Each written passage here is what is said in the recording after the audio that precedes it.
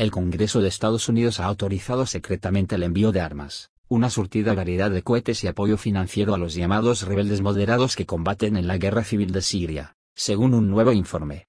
Funcionarios de seguridad estadounidenses y europeos dijeron a Reuters que Estados Unidos proporcionará cohetes antitanque, pero que no serán tan letales como los misiles tierra-aire lanzados desde el hombro, conocidos como MAMPADS, que pueden ser utilizados para derribar aviones militares o civiles.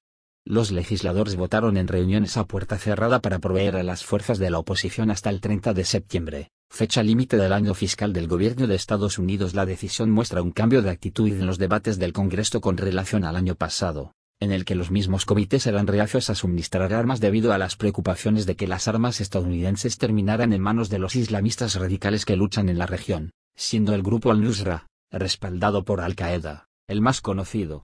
Sin embargo, estas preocupaciones parecen haber disminuido.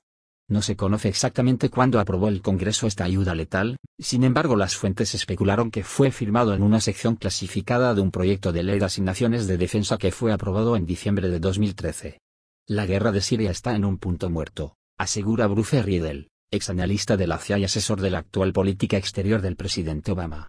Los rebeldes carecen de la organización y de las armas para derrotar al Assad, el régimen carece de mano de obra leal para suprimir la rebelión.